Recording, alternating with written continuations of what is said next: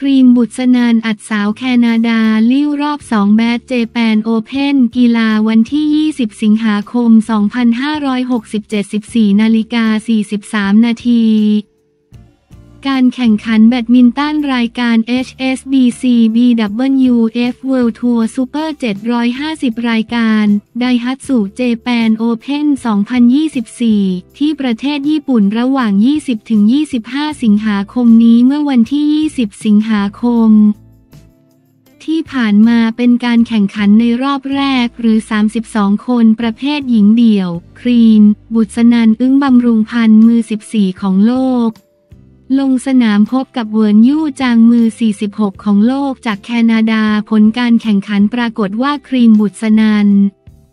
ไม่ทำให้แฟนๆ ผิดหวังเอาชนะคู่แข่งไปได้ 2-0 เกมด้วยสกอร์ 21-15 และ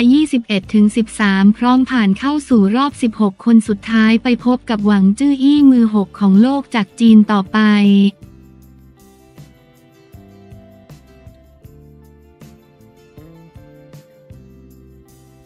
ทักษิณรับเปลี่ยนรูปแบบดิจิทัลวอลเล็ตชี้ข้อเสียแจกเงินสดกระตุ้นเศรษฐกิจได้ไม่เต็มที่การเมืองวันที่ 20 สิงหาคม 2567 16นาฬิกา27 นาที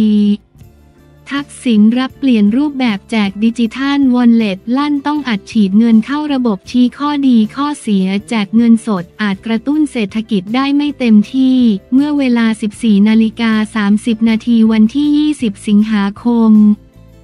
ที่อาคารชินวัตร3นายทักษิณชินวัตรอดีตนายกรัฐมนตรีให้สัมภาษณ์กรณีโครงการดิจิทัลวอลเล็ตควรต้องปรับเปลี่ยนนโยบายหรือไม่ว่า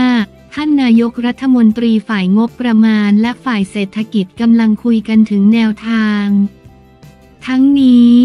ความจำเป็นในการกระตุ้นเศรษฐกิจต้องมีแน่นอน และต้องทำอย่างเร็วช้าไม่ได้ เพราะเศรษฐกิจกำลังไหลลงยิ่งลึกเท่าไหร่ ก็ดึงขึ้นมายากเท่านั้นนายกรัฐมนตรีกำลังวางแผนกันอยู่หลังจากทำงานได้แล้วคงสั่งการเลย เมื่อถามย้ำว่าจากมุมมองอดีตนายกรัฐมนตรี ดิจิทัลวอลเล็ตควรต้องเดินต่อหรือไม่ นายทักษิณกล่าวว่าคำว่าดิจิทัลวอลเล็ตมี 3 เรื่องในนั้นหนึ่งการกระตุ้นเศรษฐกิจซึ่งเป็นหัวใจสำคัญที่ต้องทำ 2. การให้ประชาชนเรียนรู้เทคโนโลยี เพื่อใช้ประโยชน์ในโอกาสต่อไปข้างหน้า พื่อให้ประชาชนรู้เท่าทัน เทคโนโลยีต้องทำต่อไป แต่ความเร่งด่วนอาจรอได้ 3. อนาคตของดิจิทัลวอลเล็ตเมื่อวางไว้แล้วจะสามารถเชื่อมต่อเศรษฐกิจระหว่างรัฐบาลกับประชาชนได้ และเป็นช่องทางให้ประชาชนทำธุรกิจผ่านดิจิทัลวอลเล็ตเป็นเรื่องของเทคนิคที่ต้องมีต่อไป ซึ่งอันที่สองกับสามรอได้ แต่อันที่หนึ่งรอไม่ได้ แต่รูปแบบอาจอิงเทคโนโลยีบ้างหรือไม่ก็ได้ แต่ต้องถูกกฎหมายและไม่ให้ขัดแย้งกับคนที่เห็นต่างเยอะเกินไป เมื่อถามอีกว่าโครงการอาจเปลี่ยนแปลง แต่การอัดฉีดมีเหมือนเดิมใช่หรือไม่ นายทักษิณกล่าวว่าเท่าที่ตนเดินผ่านได้ยินนายกรัฐมนตรีคุยกับฝ่ายงบประมาณควรจะต้องทำเมื่อถามอีกว่าการแจกเป็นเงินสดจะตอบโจทย์กว่าหรือไม่ นายทักษิณกล่าวว่าข้อดีของการแจกเงินสดคือเร็ว แต่ข้อเสียคือกลัวจะใช้ในสิ่งที่กระตุ้นเศรษฐกิจไม่เต็มที่เท่านั้นเอง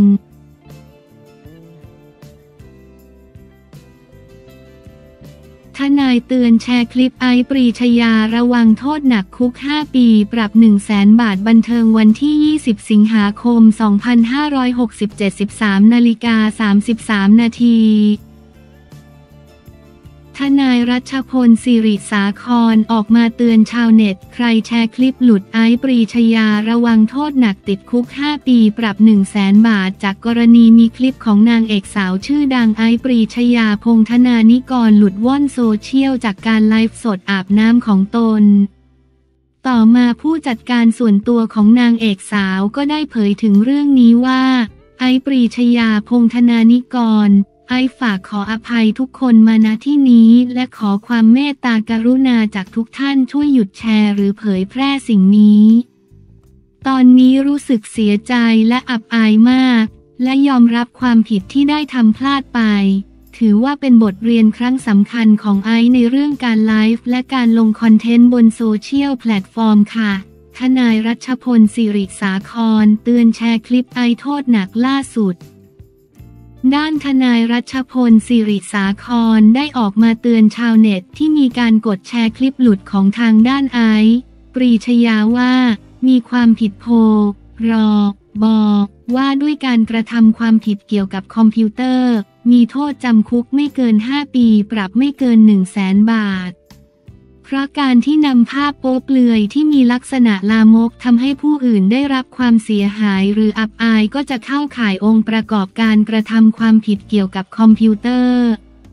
อย่างไรก็ตามใครที่จะแชร์คลิปดังกล่าวก็ควรจะคิดก่อนแชร์ เพราะผิดกฎหมายอาจติดคุกได้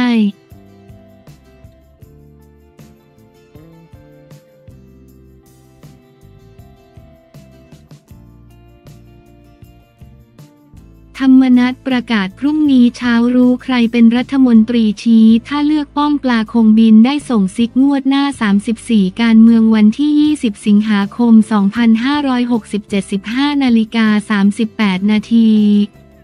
ธรรมนัตประกาศพรุ่งนี้เช้ารู้ชี้ ถ้าเลือกป้อมปลาคงบินได้ส่งซิกงวดหน้า 34 เมื่อเวลา 15 นาฬิกา 20 นาที วันที่ 20 สิงหาคม 67 ที่กระทรวงเกษตรและสหกรณ์รออธรรมนัฐพรมเผ่ารัฐมนตรีว่าการกระทรวงเกษตรและสหกรณ์ในฐานะเลขาธิการเพลกพลังประชารัฐ ให้สัมภาษณ์ภายหลังได้รับมอบกระเช้าดอกไม้ให้กำลังใจจากสสพักพลังประชารัฐรออธรรมนัฐกล่าวว่าวันนี้ไม่ได้ถแถลงข่าวเพียงแต่ตนกับพี่น้องที่ร่วมทุกข์สุขกันมา มาให้กำลังใจในการปฏิบัติหน้าที่และรักษาไว้ซึ่งแนวร่วม ตนยังยืนยันว่าตนมีเจตนารมณ์ชัดเจนว่ามีจุดยืนของตัวเอง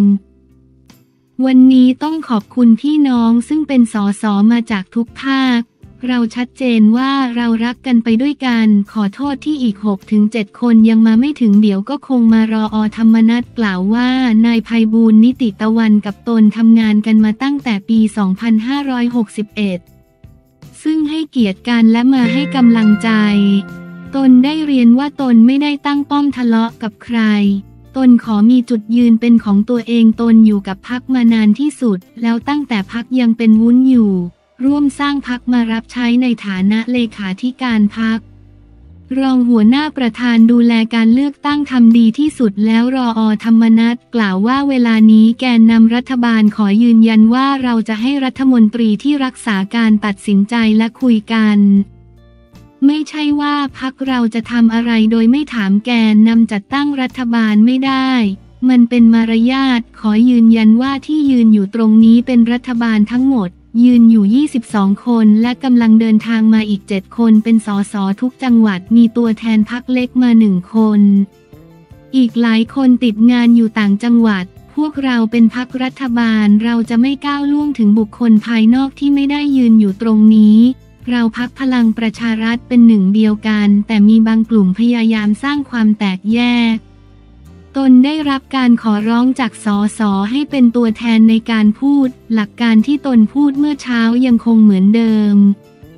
ตนยืนยันว่าอะไรที่ตนพูดไปแล้วนั่นคือคำพูดของตนและโดยกฎหมายถ้ายังไม่ขับเราออก เราก็จะอยู่อย่างนี้โดยเราจะดูว่าเวลาประชุมสภางานในสภารัฐบาลไปทางไหนก็ไปทางนั้นเราเป็นแนวร่วมจัดตั้งรัฐบาล ส่วนจะมีชื่อเป็นรัฐมนตรีหรือไม่ พรุ่งนี้เช้า8โมงครึ่งก็รู้ได้ส่งชื่อไปแล้ว ที่ผ่านมาตนเป็นผู้ประสานงานกับพักร่วมรัฐบาลแต่พียงผู้เดียว